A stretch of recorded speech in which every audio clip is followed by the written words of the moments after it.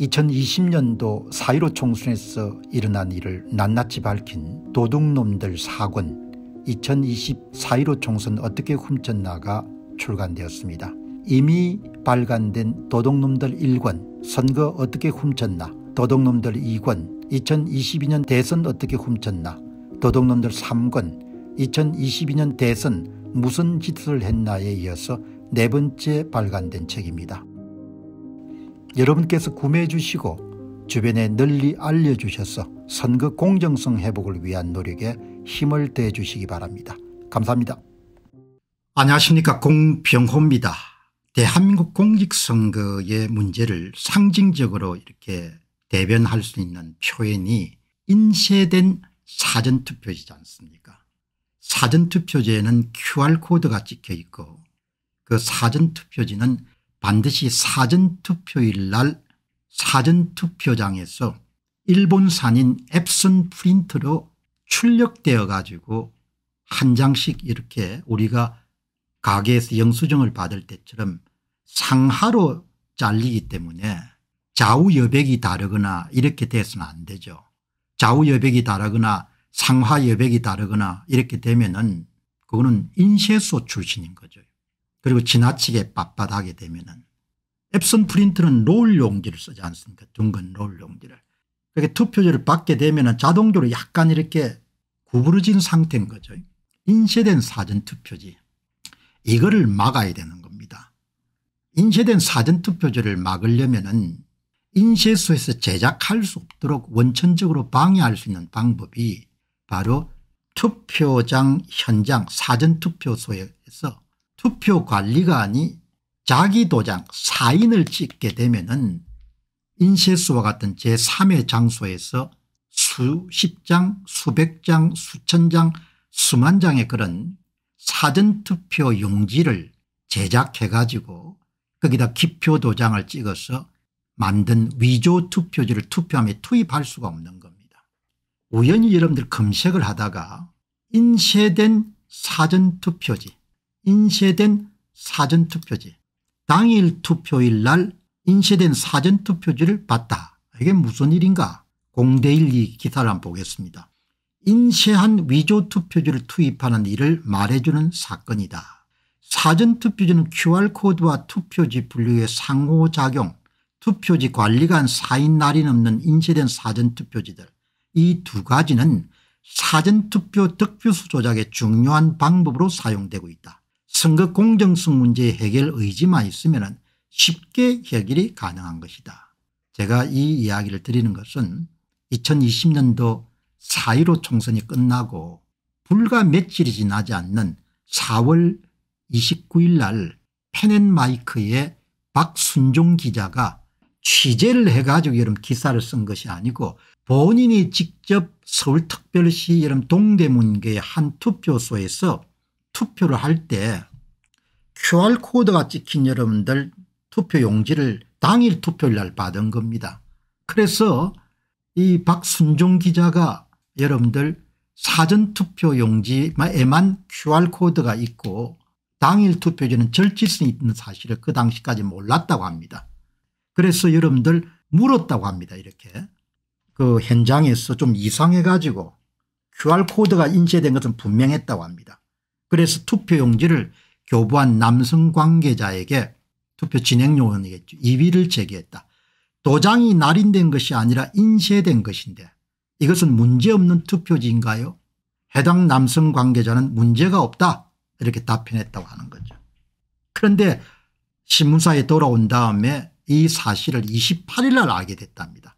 28일 날 인쇄된 도장 날인과 qr코드가 있는 투표용지는 사전투표용지였다는 것이다. 이 같은 사실을 인지한 나는 격분한 나머지 중앙선거관리위원회 동대문 선거관리위원회 항의 정안을 했다. 중앙선관위 관계자는 굉장히 흥분한 의지로 있을 수 없는 일이라며 이런 사례는 처음 보고된 것으로 상부에 알리겠다고 했다.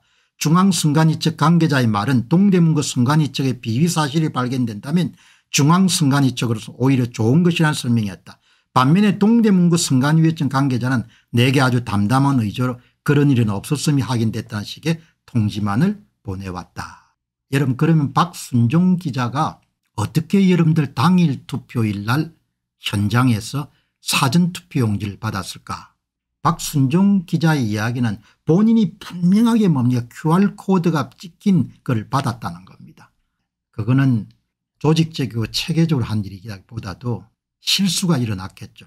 왜 그런가 하니까 4.15 총선에서는 전산 조작도 했지만 사전투표일이 끝나고 당일 투표일 사이에 4박 5일 사이에 지역선거관리위원회를 중심으로 해가지고 위조 사전투표용지를 투입한 것으로 보이거든요. 그중에 아마 일부가 그날 교부가 됐던 것 같습니다. 당일 투표일 날 사전투표 용지를 줘가지고 조작할 의지는 없었을 겁니다. 그러면 똑같은 게 뭔가 하니까 배춧잎 사전투표자와 마찬가지인 거죠. 초록색의 정당 투표를 여러분들 예, 돌린 윤, 그, 인쇄용 저 기계에 여러분들 그 다음에 지역구 투표를 돌리니까 겹쳐가지고 배춧잎 사전투표지가 나온 거지 않습니까 이렇게 여러분들 사건이 터진 거죠. 이 박순종 기자가 거짓말 해가지고 기사를 쓴 건 아닐 거 아닙니까 나는 이번 총선 당일 투표에서 당일 투표일 날 사전투표 용지를 받았다. 사전투표 용지에다 기표 도장을 찍어야 그 다음에 용어가 사전투표 지로 바꾸는 거죠. 박순종 기자는 떠났겠죠. 2020년 4월 29일 기사니까 이 당시에 정규재 씨가 펜앤마이크의 기조를 완전히 부정선거가 없다는 쪽으로 잡았기 때문에 아마 이제 이런 걸 아는 기자들은 권순날 떠날 수밖에 없었을 겁니다. 예, 이런 여러분들 이렇게 사건이 터진 겁니다. 그러니까 참 이 보게 되면은 여러분 이제 우리가 상식적으로 한번 생각해 보시죠. 지금 이제 모든 조작이 사전투표에서 발생하지 않습니까 사전투표에서 당일 투표는 바로 그날 여러분들 개표가 되기 때문에 일부 여러분 당일 투표에 대한 조작이 있는지는 확신을 못하겠습니다. 그러나 확률적으로 규모 면에서 사전투표 조작에 비해 훨씬 낮죠. 사전투표는 사전투표를 마치고 난 다음에 4박 5일간 투표함이 cctv가 여러분들 촬영하고 있다고 하지만 거의 예, 감시의 사각지대 하에서 지역 선관위가 여러분 관여하고 있거든요. 지역 선관위가 관여하고 있기 때문에 그때 사전투표 위조된 사전투표주의가 얼마든지 투입 가능한 겁니다. 경기도에서 이런 남양주신가 cctv 촬영 등이 나왔지 않습니까 그러니까 참 이렇게 여러분들 보시게 되면 은 현재로서는 인쇄된 사전투표지를 막을 방법이 없습니다. 제3의 장소에서 대량으로 만들어 가지고 투입하더라도 그걸 잡아낼 수 있는 방법이 없는 겁니다. 왜냐하면 그 당일에 여러분들 프린트로 출력된 투표용지를 정품으로 인정하는 그런 절차가 투표지 관리관이 그 현장에서 사전투표 투표소 현장에서 사인 사적인 도장을 가지고 날인을 해야 되는데 그런 과정을 생략해버리고 그런 과정을 안 해도 되도록 여러분들 대법관들을 통해 가지고 판례를 받아놨기 때문에 투표지가 진본인지 위조품인지를 검증할 수 있는 그런 절차 자체를 선관위가 주도해가 여러분들 없애버린 겁니다. 따라서 이번 4월 10일 총선을 여러분들 준비하는 국민의힘이나 윤석열 정부에서는 반드시 이 투표지 관리관의 사인 날인 원래 법이 그렇게 규정하고 있지 않습니까? 그 부분 문제가 해결이 안 되면 이번에 또 안 하겠습니까? 일곱 번 했는데 또 여덟 번째 안 하겠습니까? 안 하겠습니까? 쉽게 이런 조작을 할 수가 있습니까? 참 나라라는 것이 이렇게 이런 문제 하나 제대로 해결을 못하니까 사회라는 것이 뭐 다양한 사람들이 사니까 부정도 있고 부패도 있을 수가 있지 않습니까 그게 발생하게 되면 고칠 수 있어야 되는데 고치는 방법도 아주 간단하죠.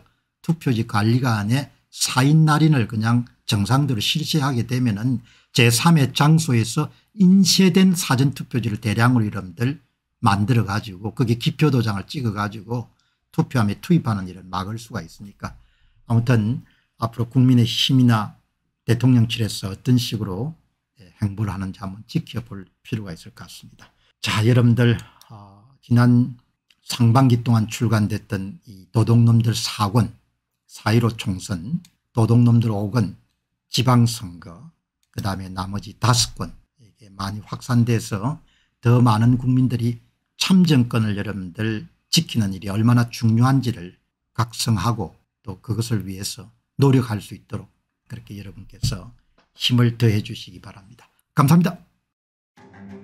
2022년도 대통령 선거의 실상을 파헤친 도둑놈들 2권 2022년 대선 어떻게 훔쳤나 그리고 도둑놈들 3권 2022년 대선 무슨 짓을 했나를 출판하게 되었습니다. 공직선거를 해부하는 도둑놈들 시리즈가 계속 나올 수 있도록 여러분께서 구매해 주시고 주변에 널리 알려주시기 바랍니다. 선거를 바로 세우고 나라를 바로 세우는 일에 여러분께서 힘을 더해 주시기 바랍니다. 감사합니다.